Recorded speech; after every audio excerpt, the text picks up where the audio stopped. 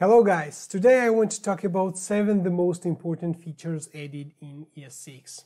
We are going to see ES5 code, then we're going to explain the change, actual change made in ES6, and then we're going to convert our ES5 code into ES6. These are the most important changes. There are um, others also, but I, I have chosen them as the most commonly used changes and what you need to consider when you are about to migrate your code from ES5 to ES6. I'm so excited, let's start. Number one change is variable declaration. There has been added um, two keywords let and const in ES6 which gives us possibility to declare variables variables in a different way. Okay, var a, let b, and, and const c. What are the major changes? First of all, uh, if you are familiar about hoisting, you know that there exist some problems when declaring a variable, uh, variable with var keyword. Declaring a variable with a let keyword fixes this problem. Let's look at the following example. We have a variable my location which is a default location and then I have a function get location which takes the IP calculates uh, the location based on the IP and returns this location. And if the uh, location was, if the IP wasn't given, uh, then it just, the purpose is to return the default location. Okay, so let's observe the code. So this takes the IP. If IP is not given, then we are uh, returning my location, which maybe you think that is this default but this is the number one problem of hoisting. Actually, if we print this, the result will be undefined. And the reason is that the variable my location declared on line 4 with var keyword actually was hoisted and was declared, was converted like this. And obviously the if condition wasn't satisfied and undefined was returned from the myLocation function. Declaring a variable with let keyword fixes this problem. And if I write here let myLocation, this will return default. Here, uh, my location was not hoisted. It was not even declared because if condition wasn't satisfied, and that's why it returned the default location. The difference between declaring a variable with let and const is that when you declare a variable with const, you cannot actually reassign value to it. You cannot, you can actually modify the declared variable if it's an array. You can push the elements to the array. You can uh, change the object if you declare a variable with const. Um, and if it's an object, you can change actually this object, but you cannot reassign the value. And let's see it in action uh, const array is an array and I can push the elements. Push one and print my array. And I see that I have only one element in my array. But if I try to reassign value, like array is new array, then I've got a problem. I have an error. And the error says that assignment to constant variable. Okay, I, I hope you understand uh, the actual difference between var and let and const keywords. And when you are about to migrate your code uh, from ES5 to ES6, please consider that uh, variables declared with var keyword are hoisted. They have function scope. They don't have block scope. But variables declared with let keyword or const keyword has block scope. They exist in if statement, in uh, for loops, and they even exist in explicit blocks. And let's see also it in action. I can create an explicit uh, scope here and declare a var variable with var, var a equals 15, excuse me, and then I can print my var a right here, uh, a, okay? So I can run the code and 15 is printed. If I change my uh, var with let or const keyword, I have an error. A is not defined. Okay?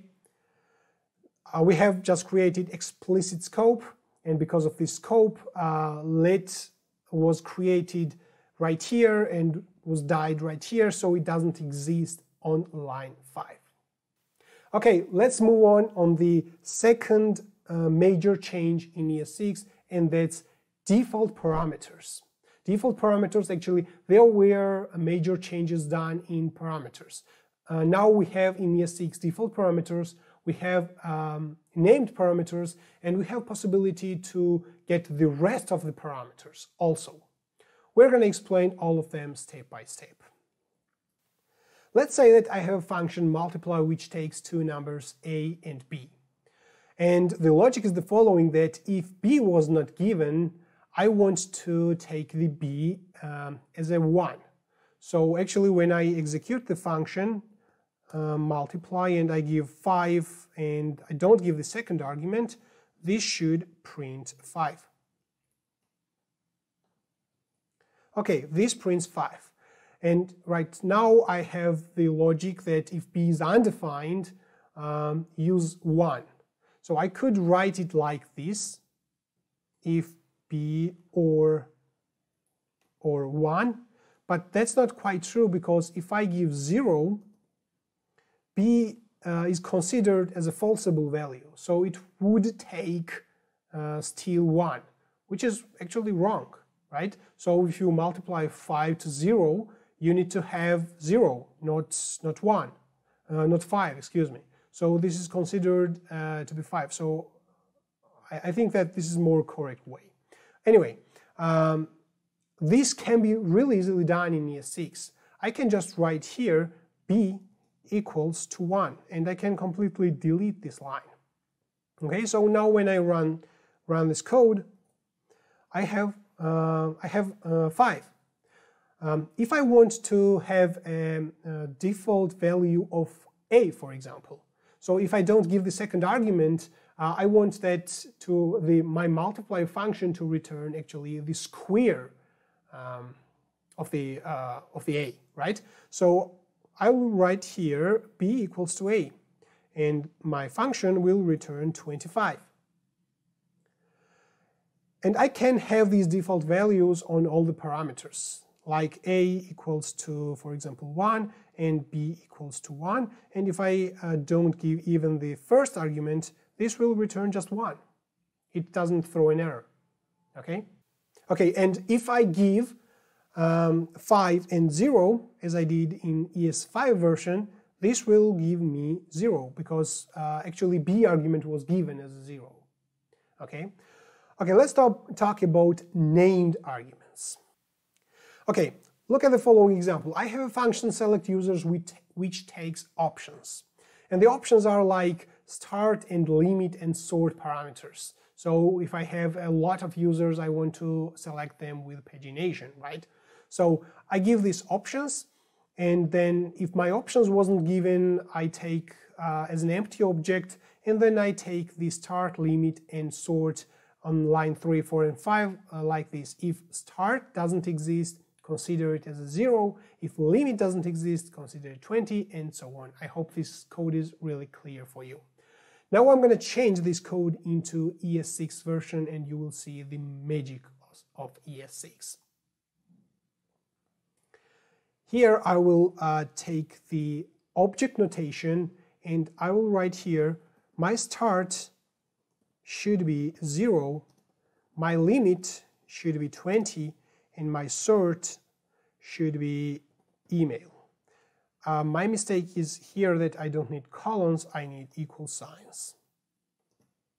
Okay, so this is a notation uh, of ES6 where I take an object and from this object I take start, limit, and sort arguments.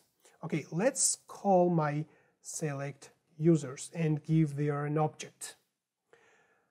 Uh, you see that I uh, haven't given any properties in the object, no, not start, limit, and sort. So right now, when I execute the code and I print these three arguments, I see that it prints uh, 0, 20, and email. If I give here start equals to 10, for example, then I've got 1020 and email. Um, if I don't give the object here, I will have an error. Right? Cannot destructure property start of undefined. Um, the problem can be easily solved if I do like this. So I want to destructure this object and take start limit and sort from this object, but the problem actually is that I don't have this object. Uh, undefined was given instead of this object. So I do here that if undefined is given instead of this object, I take it as an empty object. And then uh, the engine tries to take the start limit and sort from this empty object. And if uh, actually the start limit and sort properties doesn't exist in this object, they are taken as 0, 20, and email. So I can take here, uh, uh, give the start equals to 10, for example, and if nothing is given, start will be 10, but that makes things much more complicated. So I think you shouldn't do this. Just put it here 10 if you want star to be 10, okay? And just reassign an empty object if the just to just to handle the um, giving the undefined. Okay, uh, that's the second case of changes in, in the ES6 regarding arguments. And let's talk about the rest of the arguments. Okay, I have a really simple function test which takes x and y arguments. And let's imagine that I, um, I'm going to expect additional arguments to this function which I want to handle additionally, right? So I'm going to declare, this is an ES5 version actually.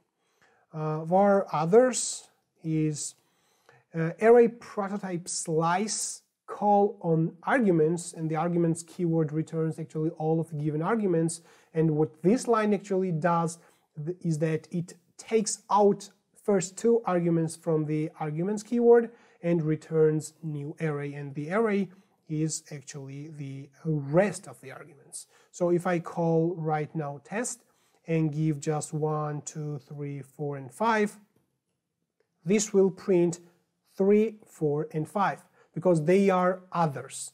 x is 1, y is 2, and the others are 3, 4, and 5.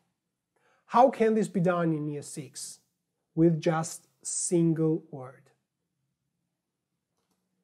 three dots and others. And I'm going to remove this line completely. It does exactly the same thing. Okay, let's talk about spread keyword. Actually, spread keyword is the reverse of the rest keyword. The rest keyword, uh, it's not actually keyword, rest argument. So this is called rest argument and the, the spread uh, operator actually does the reverse. So if I have an um, array right here where others is 3, 4, and 5, I can give these 3, 4, and 5 as the other arguments when I am executing my test. Others and it does exactly the same thing. I take out arguments from the uh, from the array and actually I take out the elements from the array and pass it as an arguments. Okay. Uh, the equivalent way in ES5 is to again call apply on test give this keyword which maybe is undefined at this point because we don't care about it and we can give array of arguments like 1 and 2 and if I have others, why did I delete it? Uh, excuse me, others is 3, 4, and 5. I need to call concat right here. Give these others. And this is the equivalent way of the spread keyword in ES5. Uh, okay, um, let's talk about the uh, third major change, and this is uh, arrow functions. Okay, I'm going to give you a couple of examples on arrow functions because I think that's really important and really convenient change in ES6. Okay, let's look at the following example. I have an object application object which has debug true, and I have an init method on this object. I'm selecting a button, adding an event listener, and when this button uh, is clicked, actually, I want to print my uh, debug value. Okay, if I do like print this debug, this won't work because this keyword is used inside a function. And this keyword right here will be an object. It will be a DOM object. Actually, it will be a button. The workaround in ES5 was that you declare a new variable, variable like var that equals this or var underscore this equals this or as you like. There are many approaches. I was doing like var me equals this and then you can print right here me debug which will be the actual debug property of the, of the object. It will be true. Um, in ES6, there is much easier way of doing this. You don't need actually this var me equals this, and instead you can use arrow function instead of normal function in a button event listener. And here in my event listener, I can directly write this debug instead of me debug. And that's, that's really convenient, right? The second example is when we use arrow functions as a callback functions. That makes things much more easier.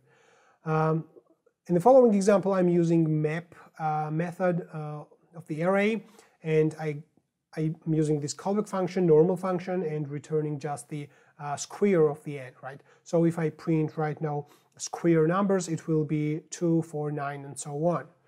Uh, there is, uh, using arrow functions, actually, I can do like this. Except n and just n multiplied on n without return or without additional braces. So basically this is explicit return. Whatever is written right here, if I write here 5, it will be returned. So my square numbers will be 5, 5, 5, 5, 5, uh, 8 times, right? So um, uh, if I want to return, actually this is the equivalent of the previous one.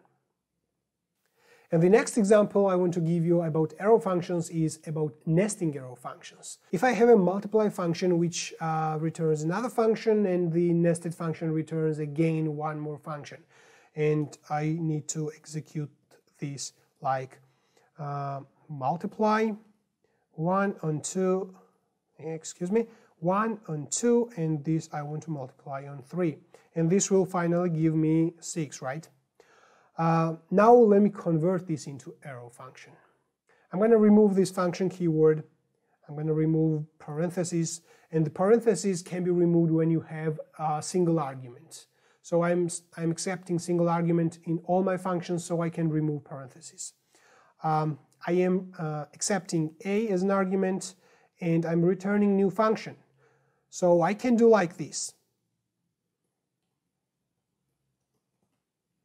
And here again I can remove the parentheses and function keyword and return like this. So that's that will do the same thing. That's it. But I can even simplify this. So if I remove the braces right here and here, and remove this return, this is considered as an explicit return, right? So it will just print uh, 6 again. And I can do the same thing right here, remove the braces and remove the return keyword, again explicit return, and do the same thing right here. And let's see, this still prints 6. And if I print this in a single line, that will make our life much more easier because the code maybe it's not readable but it's really simple and as soon as you get used to arrow functions it will get readable I'm sure. And that's still 6. The number fourth thing I want to talk about is string interpolation. Look at the following ES5 code example. I've got domain, port, and ID variables, and I want to uh, structure a URL using this domain port and ID. This is how I do generally in ES5. And let's look at the ES6 example. I declare a variable with either const or let, and I use the backticks and basically I write the string there. And here I use dollar sign, braces, and inside these braces I use the variables.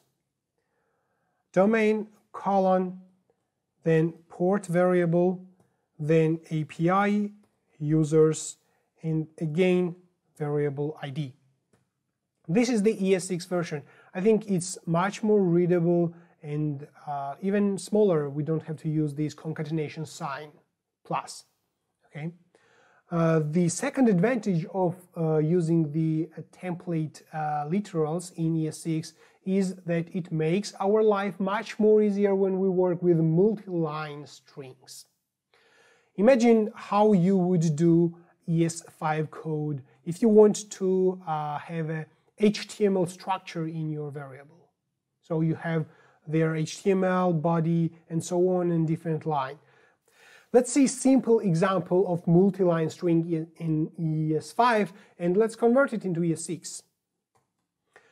Uh, I have a paragraph and uh, there are two ways basically to uh, declare multi-line strings in ES5.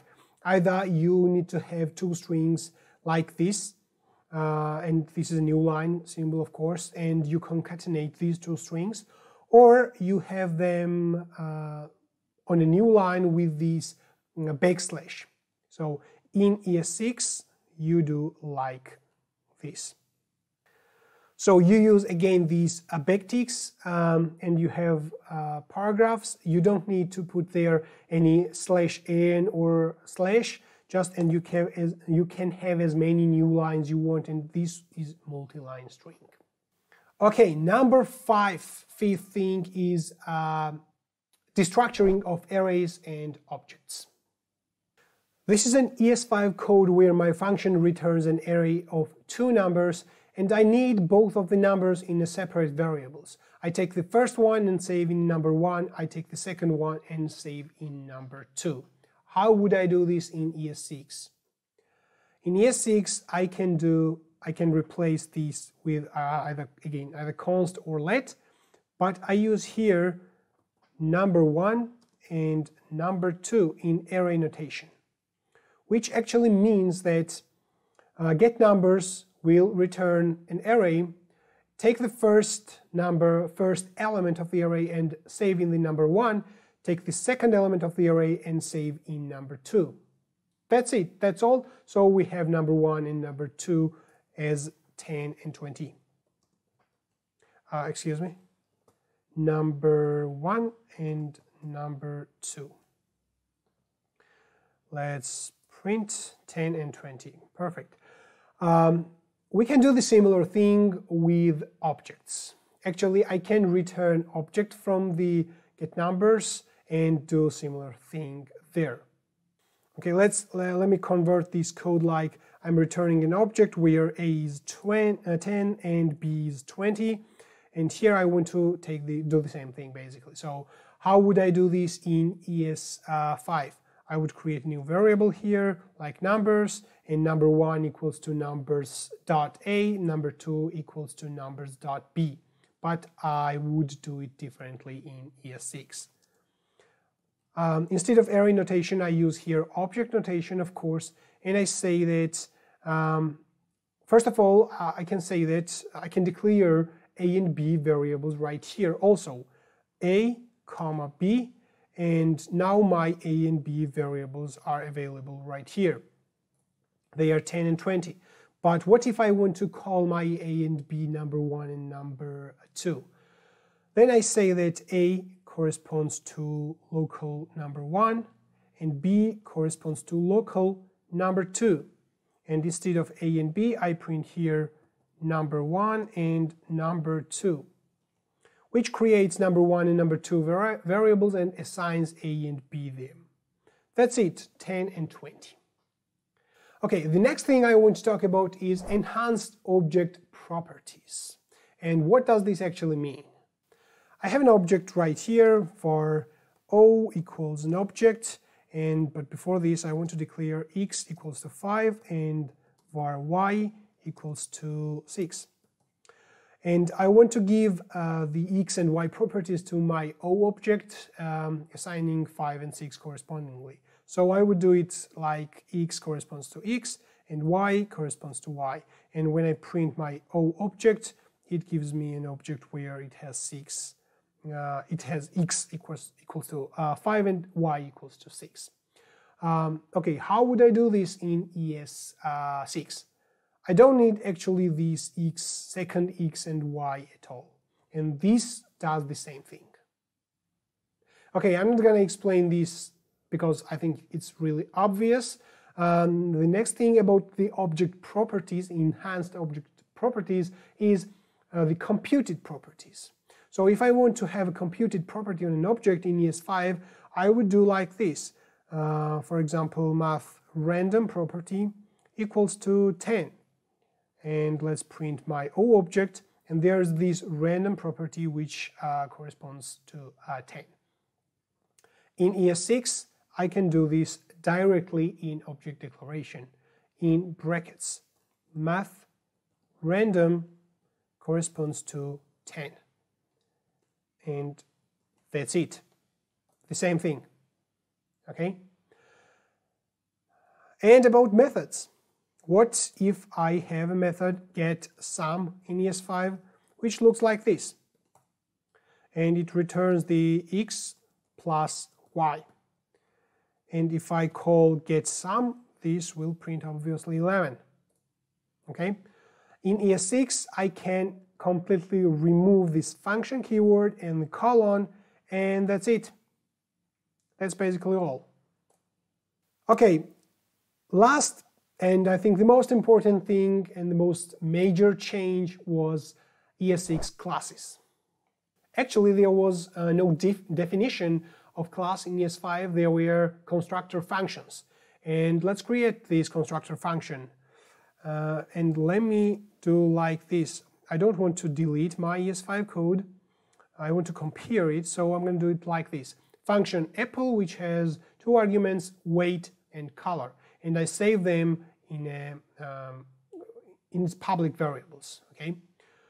And now let's say that I want to add a new prototype method, for example, which just returns the weight. So I would do like apple prototype get weight equals function and this returns this weight. And let me create an instance of apple var apple is new apple give like 200 gram, for example, and color is green. Okay, now let's print get weight. Okay, uh, I'm going to put this in the console log.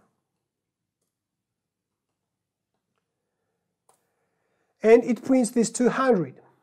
Okay, now let's see the corresponding way in ES6. I declare a class with class keyword class apple. In its constructor, I take uh, weight and color. And the assignment of public variables is basically the same. But about assigning, uh, creating a prototype method get weight is much simpler. I write get weight right here, uh, which will return this weight okay? Uh, and let me comment, let me take this code and put it below and comment this code. Okay, so this will do the same thing. It prints 200. Okay, what happens if I want to use getters and setters in ES5 and how can it be done in ES6? In ES6, it's really, really super simple, I think. So I can just write get, for example, weight um, kg, for example, if I want to uh, get the weight in kilogram, or I like kg weight, um, which returns this weight divided on 1000. Okay. Now uh, I can just write kg weight right here and this will give me 0.2, which is uh, how many kilogram is 200 gram, right? Uh, how would I do this in ES5? It's, I think, really big overhead and um, it's pain, in my opinion, doing this in ES5. So you have to call object define property. Uh, I want to do this on Apple prototype. I want to call the property kg weight and then object. And inside object, I say that get corresponds to a function this weight divided on 1000 and I want to return this. Uh, as for set, something similar. It takes the key kg weight as an argument and this weight equals to kg weight multiplied uh, on 1000. And now, let me comment the ES6 version um, and see the same thing. It prints this uh, 2.2, uh, which is a number in kilograms, which is quite right. Now let's reassign if kg weight is 0.4, for example. And after this, I want to print um, apple weight, which will be 400 gram, right? So uh, this is how it can be done in ES, um, ES5, which is really not convenient and hard to remember. Um, in any case, I think the ES6 version is uh, better, right? So let me comment this and see the same thing in ES6. Uh, for set kg weight, it takes the kg weight as an argument and this weight is kg weight multiplied on 1000. And that's it. We have the same output. 0.2 in kg weight and 400 in weight. As far as this is the um, this is not the uh, in detail guide. Uh, there are much more on classes. So um, I really encourage you to read more about this. Um, I do have a separate video on this, but um, it's really, I think, um, outdated and, to be honest, not the best video. Um, so I'm gonna, I think I'm gonna do a separate crash course for um, object-oriented programming in ES, ES6. And I'm gonna, I'm gonna cover also some scenarios in ES5. Uh, but that's, that's it basically for now. Uh, you can extend, if you have an, another class, you can just extend uh, some fruit class, for example, and you can take some general properties and methods uh, from the fruit class. If you want to uh, call the uh, fruit constructor, you just write super, um, but be consider that the super, calling the super, must be the first thing you are doing. So it should be the first thing in the constructor. Okay, I think that's all. Um, that's the basically end of the video. Thank you really much for watching it. Um, I hope you enjoyed it. If you like the video, please uh, hit the like and subscribe buttons.